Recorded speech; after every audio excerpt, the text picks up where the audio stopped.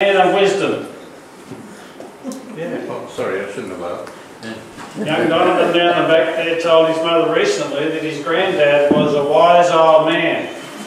Last night I had a few words to him about that one word, old. and he has agreed that I'm not old, I'm just wise. Yeah. And if I've got any wisdom at all, I think I should open in prayer and get on with it, or you might think otherwise at the end. I want to have a message of encouragement this morning. So let's pray. Father, we thank you that you are a loving God. We thank you that we've sung of your great faithfulness and we experience it day by day. But may we know it more and more in a very real way as we listen to your word this morning. We ask it in Jesus' name. Amen. Amen. I'm going to be a bit unorthodox today and I'm actually going to attempt to sing a hymn as part of the message. Unfortunately, every single one of our singers, apart from our faithful elder here, Ron, has decided to go away. So that could leave me behind the microphone singing again, and some of you will probably remember what happened last time. So we'll see what happens. But I want the words, the words of this hymn, it is well, it is well with my soul to permeate our beings. And that hymn writer can say things that I couldn't hope to say. The title this morning is The Unchanging Faithfulness of God. It comes from a message I gave many, many years ago, and this is a much, much less in-depth one than normal. And if we go to that first section, please, Linda. God's unchanging nature and character. And I just want to go through this very quickly, and I'm using the J.N. Darby translation simply because of the, he brings out stronger the word about God being the same. I am He, I am the same. It is a divine title, the ever existing one, the self existing one who never changes. Malachi 3 6, if you want to read that passage of Scripture, it's absolutely wonderful. For I, Jehovah, change not. And I'm just establishing this unchanging character of God here. Hebrews 13 8 to 9, Jesus Christ is the same yesterday and today and to the ages to come. 2 Kings 9, 2 Kings 19, 15. Thou the same, thou alone art the God of all the kingdoms of the earth. Deuteronomy 32, 39. See now that I, I am He. This time J.N. Darby used the He, the more familiar, or the same. And there is no God beside me. I kill and I make alive, I wound and I heal, and there is none that delivereth out of my hand. Psalm 102, 23 to 28, but verse 27, But thou art the same, and thy years shall have no end. Hebrews 1, 10 to 12, which is quoting Psalm 102, And thou in the beginning, Lord, hast founded the earth, and the works of thy hands are the heavens. They shall perish, but thou continuest still. And they shall all grow old as a garment, and as a covering shall roll them up, and they shall be changed. But thou art the same, and thy years shall not fail. Now the Hebrew translation between I am he and I am the same, I'll leave that for the scholars, because I am not a Hebrew scholar. But does God ever change? Genesis 6 says, 6 says, And God repented that he had made man on the earth, and it grieved him in his heart. Repentance is a change of mind. So it's one of these contradictions that people like to grab on to try and destroy the meaning of the Bible. What little Hebrew I do know the Hebrew word nacham for repent in the Old Testament. Does mean to repent as in a change of mind, but it also means to be eased and comforted in one's mind. And God was not eased and comforted in the mankind that He created because they were exceedingly wicked. It was just before the flood. But did they have to be destroyed like that? No. Noah was a preacher of righteousness and they could have repented and they would not come, have come under God's judgment. God is essentially the same in His love and character. He is essentially the same and always will be in His righteousness and holiness. And yet He is always willing to forgive those who come in repentance to Him. And so that sense, in that sense only, God ever changed. He is always willing. He's not willing that any should perish, but that all may come to repentance. Now the main passage of scripture I want to look at comes as a message encouragement from the book of Lamentations, which might sound like a contradiction. You're looking forward, to go to Isaiah and Jeremiah and then Lamentations. But firstly, Jeremiah, to sit scene, the word of the Lord came to Abraham last week, wasn't it, John? Well, this time it came to Jeremiah. And it said to him, and I hope the Palaszczuk government is somehow listening this morning, it said to him in verse 5, Before I formed you in the womb, I knew you. Before you were born, I sanctified you. I ordained you a prophet to the nations this horrendous abortion bill is going to be tried to be passed through Parliament. Here is God sanctifying a perfect man, a babe, an unformed babe in the womb of the mother for a purpose that he was going to fulfill through him. Then Jeremiah said, Ah, oh, Lord God, I can't speak. I'm only a youth. He was possibly about 20 years old. God said, Don't say you're just a youth, for you shall go out to all whom I send you, and whatever I command you, you shall speak. Do not be afraid of their faces, for I am with you to deliver you, says the Lord. Then the Lord put forth his hand and touched my mouth, and the Lord said to me, Behold, I have put my words in your mouth. Jump forward just a passage later in Jeremiah. Jeremiah says, But his word was in my heart like a burning fire, shut up in my bones. I was weary of holding it back, and I could not. Oh, if only we could all be like that, that the Word of God was so effervescently bubbling up from within us and spreading out the message of God's love to those around us. Although, of course, Jeremiah's message was not so much about love, but rather the impending judgment of Israel. They were about to be sent to Babylon, most of them were in captivity, of only a few remaining in the city of Jerusalem, absolutely destroyed. No food, no water, no nothing. In fact, if you're a mother of a young child, some sections in Lamentations will give you terrible, terrible nightmares. It was the worst, probably the worst time in the history of Israel. And Jeremiah is going through this roller coaster of emotions. You see it like the Psalms. One minute he's pouring out warnings of dire judgment, and the next minute he's bursting forth in praise to the Lord. I don't know about you, I read the biography of a great Christian man once and, I, once and I just couldn't identify with him. He was just too holy, too saintly. He never got upset about anything in life and he went through a lot of things and I'm not knocking him. But either he must have reached sinless perfection, which I certainly haven't, or the biographer was writing it through rose-tinted glasses. Sometimes life is like that, where we go through these emotional things, things that go wrong in our life. It might be our health. We've all got to the stage, if I think everyone here has probably seen a doctor. Sometimes family can let us down. Sometimes our Christian family can let us down. Great hurt can come into our lives. We all know about it. I don't need to tell you anything about that.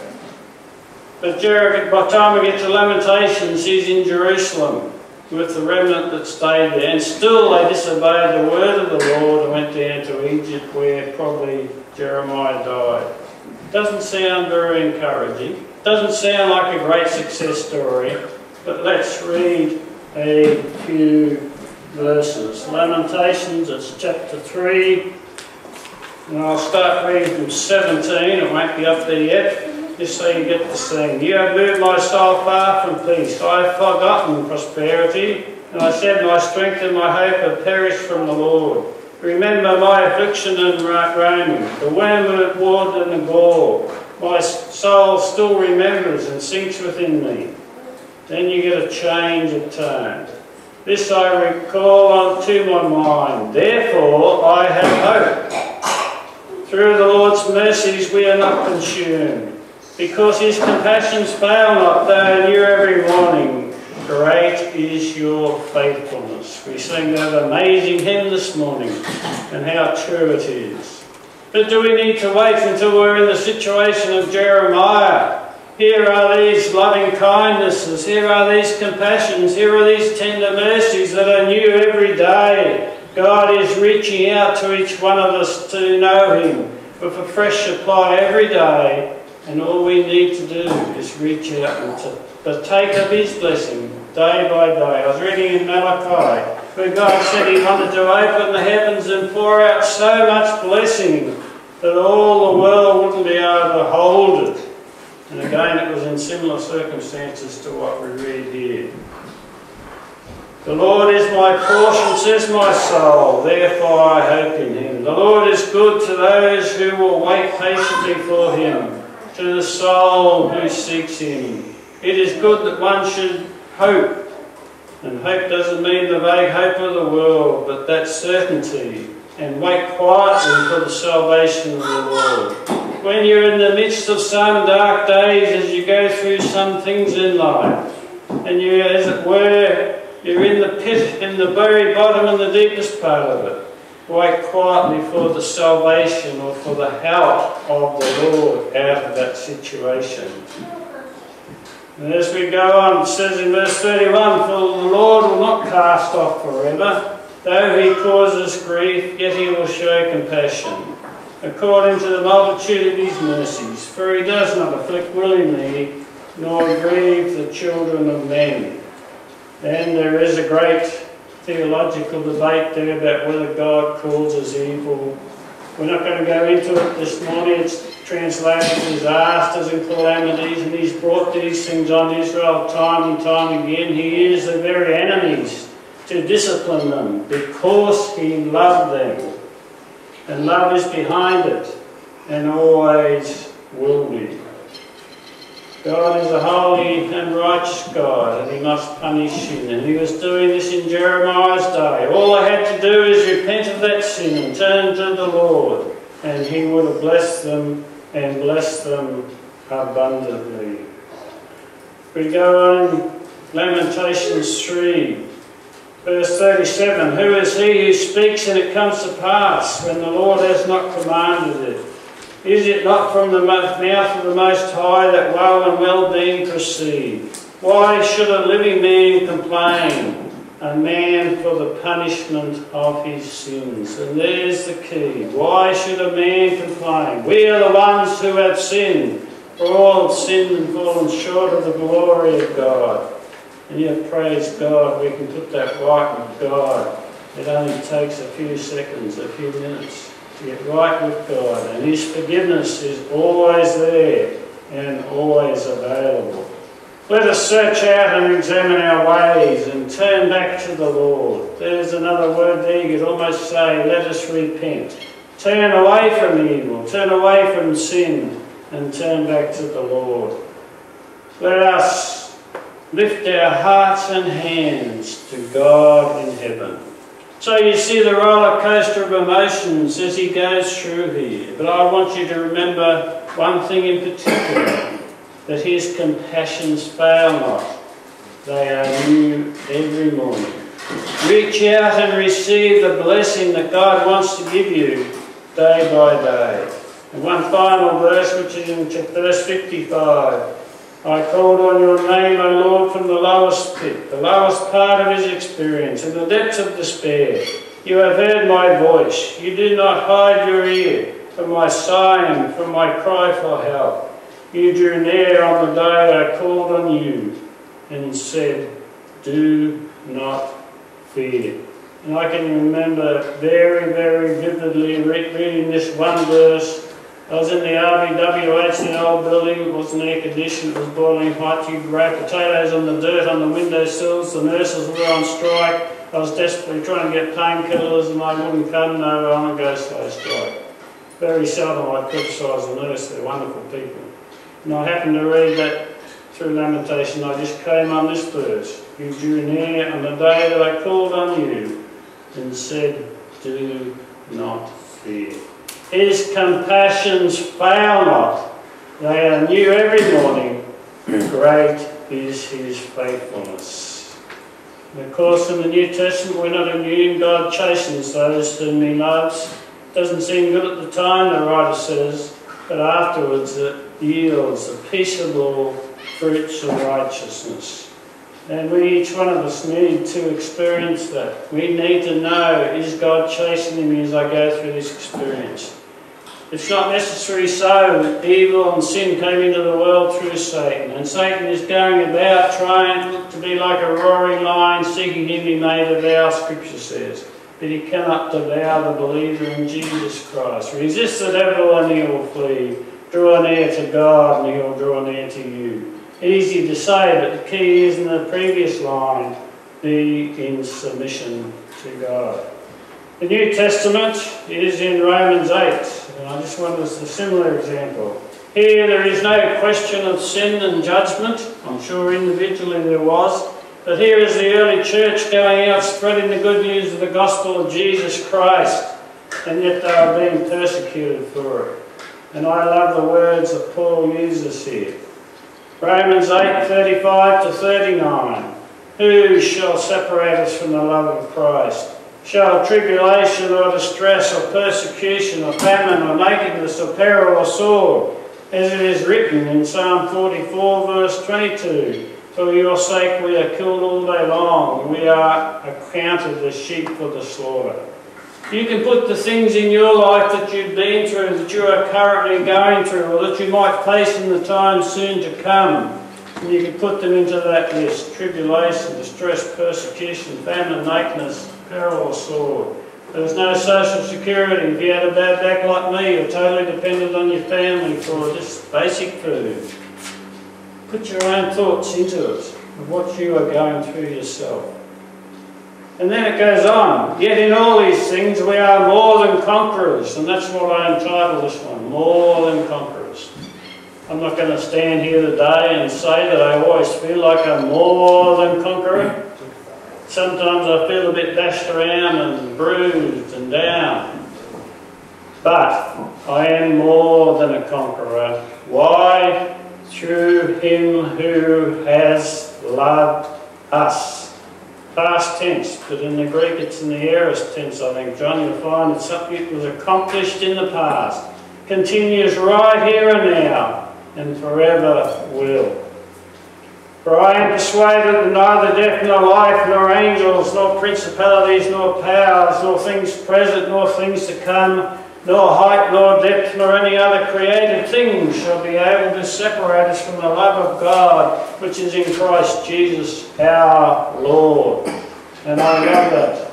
I can go over that over and over again. Nothing can separate me. Nothing can separate you. No matter what experience you go through from the love of God which is in Christ Jesus our Lord. A few verses earlier in Romans 8, 18, to 19, speaking about suffering again. It says, For I consider that the sufferings of this present time are not worthy to be compared with the glory which shall be revealed in us. For the earnest expectation of the creation eagerly waits for the revealing of the sons of God. There the writer is looking past the return of Christ for his church to the revealing of Christ with his church as he comes to fully establish his kingdom and rule in absolute righteousness, where there will be no harm or any will defile in all God's holy mountain.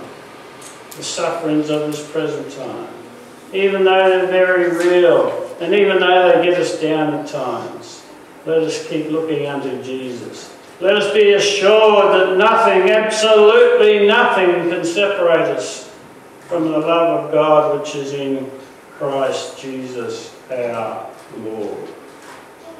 That basically is my message, but I'd like to sing this hymn. Joan, if you could come up, and Ron, would you be able to go behind that microphone? Yes, not on. It's not on? Can mine be turned off then, please? we'll only sing one three, and five. One, three, and five, because you know what happened last time I tried to sing. We've got Joan to play this time. But try and apply these words to where you've been in your life, where you are right now, and where you might be soon. And then I just want to read something about the writer of this hymn. Thanks, Joan.